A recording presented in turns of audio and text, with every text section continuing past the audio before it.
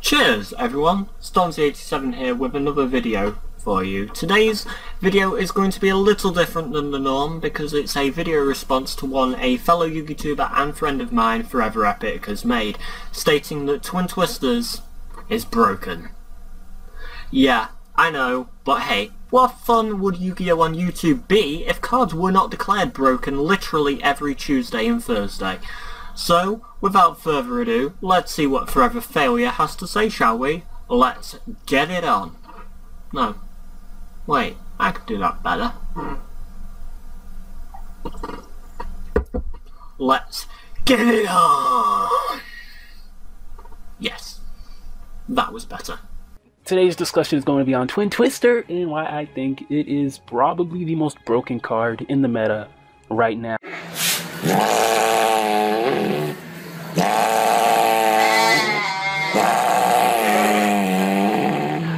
Now, and I know some people are going to be like, immediate, you're an idiot. Oh my god, how could you say such things? What? No, I would never say that, Epic, about you. Um, no. You're always well informed and totally correct in this line of reasoning.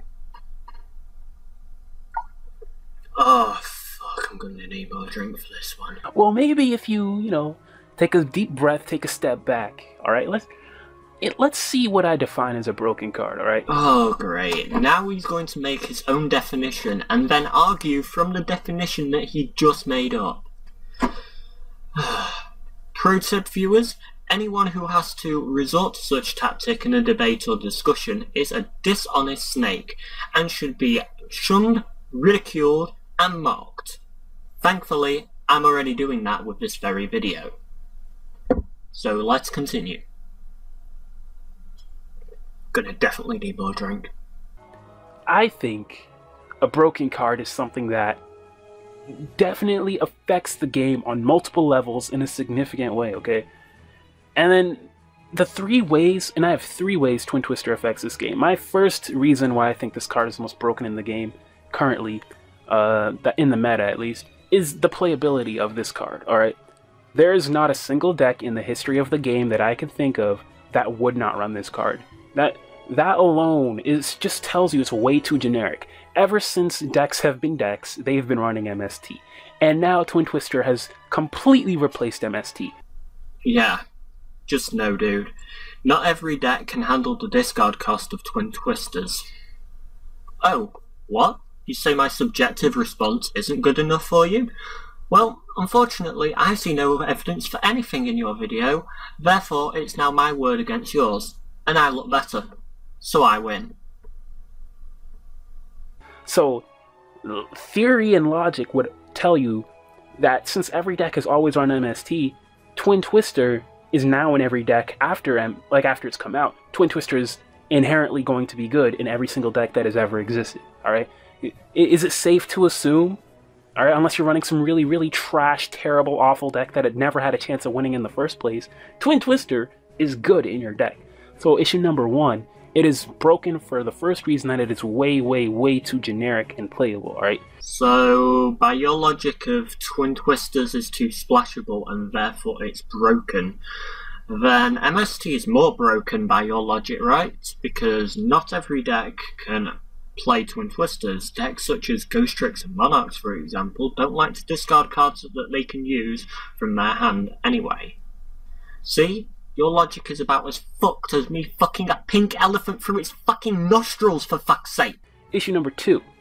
It is format defining. You might you may not think of it straight off the bat, alright? But before Twin Twister came out, people were complaining about set 5 pass, even with a card like Denko Sekka existing, because not every deck can play Denko, you see, but every deck can play Twin Twister. Hmm. Those claims, they keep on coming. Hmm. Hmm. that proof, it keeps on missing. And so, even though Solemn Strike, which is e almost equally as broken as Twin Twister, I, I would just put it a little bit underneath Twin Twister in terms of brokenness. No. No, you, you, you didn't. You, you, no, you, you didn't just claim that Twin Twisters is more broken than solemn notice, did you? You fuck. Fuck. Fuck. Um, even though Solemn Strike came out, which technically only adds to the Set 5 pass issue people were complaining about, now back row is essentially irrelevant to the game, you see. Back row is irrelevant, huh? So what happens when you set three traps and then I go and I don't draw into my twin twisters, huh? What happens then? Oh, that's right. I get fucked. That's exactly what happens. You act as if everyone is going to draw into their twin twisters or open with it. You have way more fucking traps in your deck than I have twin twisters. The chances of you getting traps and me not getting twin twisters are significantly higher in favour of you than they are in me. But whatever, why need to prove everything like or apply logic to that when we can just magically claim that hey, you might have this card for this situation, well you might have this card for this situation. Whatever. On to your next falsehood, you shitlord, you. Let me explain it this way. If you set zero back row, you're at a disadvantage, alright? Because your opponent can basically do whatever they want to you, alright? If you set one back row, it's not enough, unless it's a solemn, which is why solemn is really good in running every deck. But anyway, if your opponent, even even if it is a solemn, a lot of the times, if your opponent only sets one back row, it's not enough. So what can we assume, alright? If you're going to run back row, and if that back row is going to matter, you need to set at least two back row. Now, if you set two back row, you get blown out by twin twister. So now, assuming you're running back row, and you want your back row to actually be effective, you need to set at least three back row. Well, then you still lose to twin twister, because after they activate the twin twister, you only have one back row left, and if we go back, we have just said that one back row, most of the time, isn't enough to do anything. Yes. Just ignore the fact that your opponent may never get their twin twisters. Ignore the fact that you, in that scenario, still have one back row to fuck up their follow-up play while your opponent just lost two cards. Ignore the fact that you may already have cards such as Stardust Dragon, Starlight Road, Red Dragon Archfiend Abyss, DDD Siegfried, Dark Bribe, and many others to stop the Twin Twisters to begin with.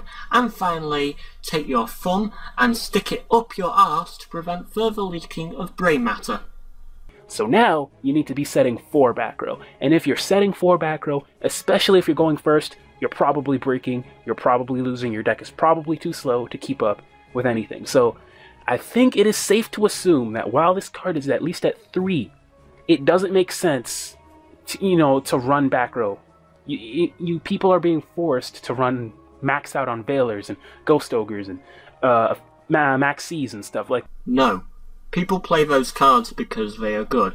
Also, in that scenario that you just mentioned, if two of your back row do get blown away by Twin Twisters, you still have two back row and one card in hand to fuck up your opponent's three cards. You are in no way out of the door at that point.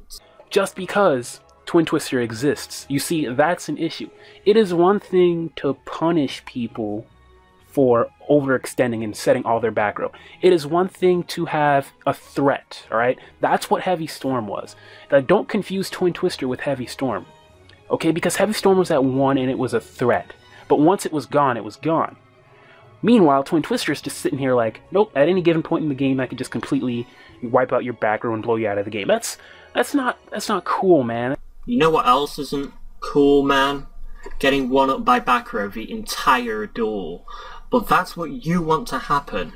Why? Because your salty, your solemn strikes keep getting fucking twin twisted. Please, forever failure. Stick your thumb back up your arse. Your brain is leaking out again. It's it's I know I know kind of counters pendulums, but to be honest, Konami can like design other cards to counter pendulums that don't completely erase back row from the game. And I'm, I'm I'll be the first one to tell you I max out on Twin Twisters in basically all my decks because Oh dear, he's rambling incoherently. I think he had a peasant brain shut down. This is where the brain shuts down due to the amount of bullshit that it was just forced to spew. Let's speed him up and see if his brain reboots, shall we? Back row is my least favorite part of the game, but that doesn't mean I can't recognize its importance that it has in terms of balance. If you're gonna have a balanced game, you need all aspects of that game to be at least somewhat relevant. And right now, back row is completely irrelevant because Twin Twister is at 3. It's, it's not just a threat, it's like it's like a law of the game right now. That you just don't run back row because Twin Twister exists, okay? So in that way, it's format defined. Okay, that was about 30 seconds of speeding him up. Let's see if his brain has actually restarted itself yet. And, and lastly, and most importantly, this is the easily the biggest issue I have with this card, okay? It like it shares something with a banned card, and I want you to think of I'm gonna give you five seconds to guess which banned card I'm thinking of. Let's go. The suspense! It's killing me! Actually, I hope the suspense would have killed me by now. You've bored me so much my penis wants to fall off. Don't say what card I think you're about to say. No. Don't. Did, did, did you guess? Did did you guess Lavalval chain? Because if you didn't, you're wrong. It's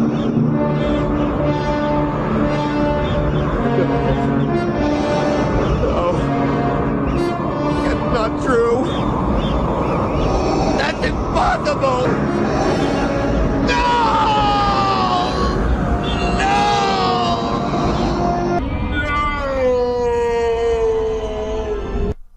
Moment when a facepalm just isn't enough. ah! right? Let me tell you what it shares with Laval Chain, alright? Both of these cards have probably enabled some of the stupidest plays in this game. I don't want to live on this planet anymore. Okay, want to give any examples of plays lots of people are pulling off with Twin Twisters like they did with Lavalval Chain? No? Okay, then Epic, I have one thing to say to you on this. You're wrong, stupid, don't give any evidence, and you are the reason that we can't have nice things. Alright, and here's what I mean by this. Laval Chain was an accessible Foolish Burial for any card in your deck at any given point in the duel as long as you were able to make it. It set up things like Ginlock and random FTKs and really good plays with, you know, Dark Laws and all these kind of things. Like, it, it, it just did a lot of stuff and it, it, it enabled a lot, a lot of combos, alright? But then you look at Twin Twister, and what does Twin Twister actually do? It says, okay, here's a foolish burial for your hand. Meanwhile, you get rid of any threats that were about to get in your way from your opponent's back row, while at the same time setting up your graveyard. Like, what? You realise you can't compare Twin Twister's discard effect to Lavalval Chain, right? You need the card in hand you want to discard. Not just play Foolish, send from deck, or play Instant Fusion, summon Norden, go into Lavalval Chain, send from deck. What if you don't get the card that you want to discard? What if you don't get the Twin Twisters? What if you don't get either of them? You know what, Epic? I'm not going to bother explaining this point any further to you. Just, just go ahead. Goat ahead. oh dear God, what am I doing today? Here, have a goat.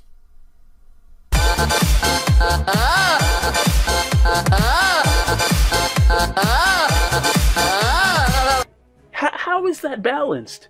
If I'm discarding a Trick Cloud, or a Glow Up Bulb, or a Damage Juggler, you know, or a even a Cosmo card like a Dark Destroyer with my Call of the Haunted set, or you know, like there's just so so so so many examples. I'm going to make the bold statement that Twin Twister has probably enabled more stupid combos that shouldn't have happened than Laval Chain ever did. Hmm. Hmm. Hmm. Nope. Not bothering debunking this. Have another goat.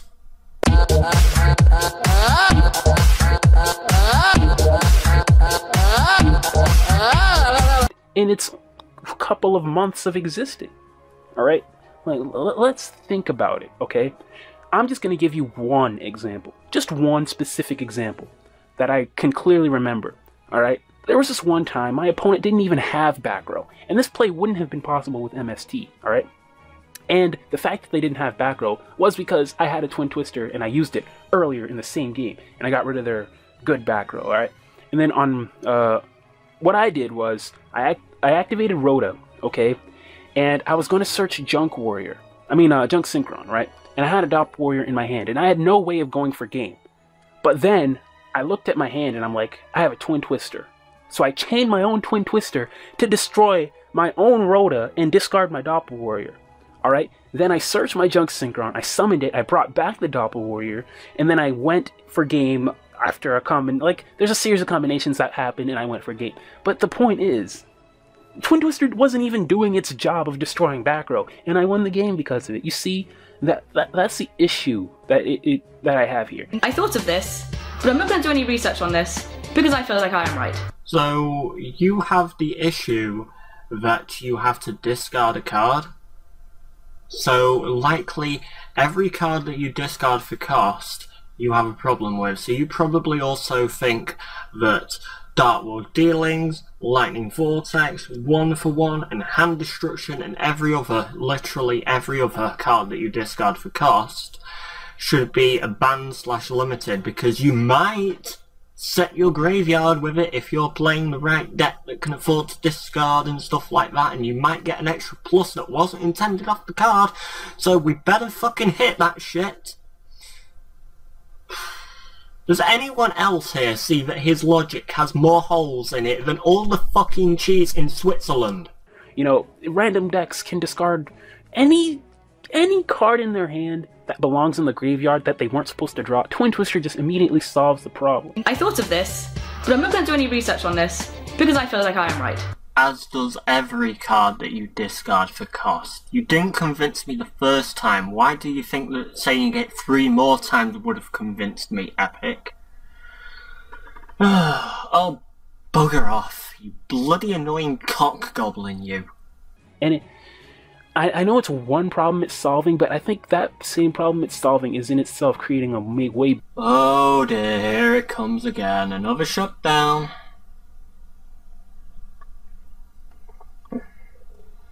Let's fast forward him and see if he actually reboots his brain yet again, shall we? Bigger problem for the game. So that is why I think Twin Twist is broken, okay? It's way too playable. It completely changes the format in the terms in the way people play back row. Okay, that was about 10 seconds. Let's see if he's better now. Because it's not just a threat, it's like an absolute truth of the game that if you set back row, you will get Twin Twistered. Nope. Fast forwarding again.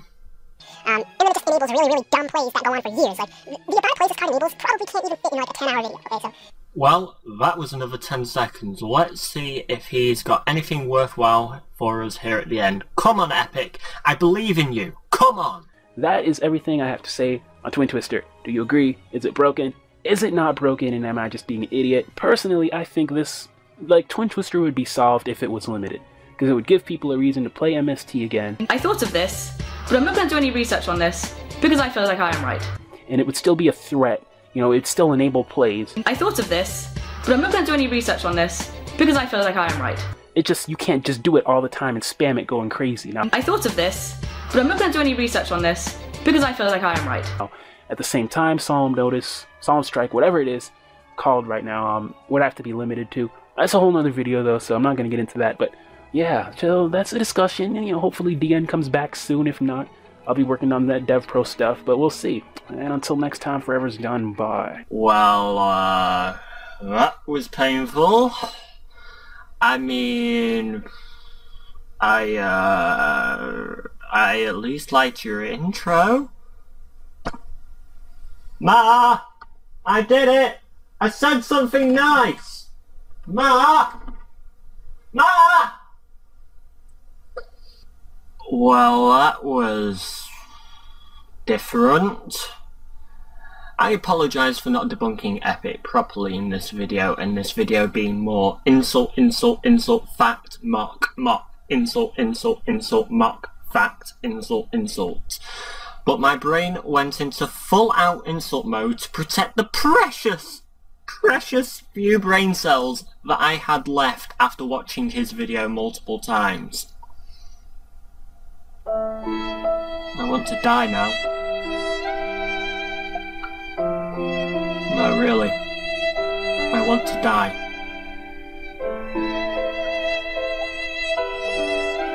That's how sad this video made me. Regardless, I thank you all very much for watching, and I hope to see you again soon. Please don't do another video like this, Epic. That was fucking horrible. Oh my god. I need more rum and coke.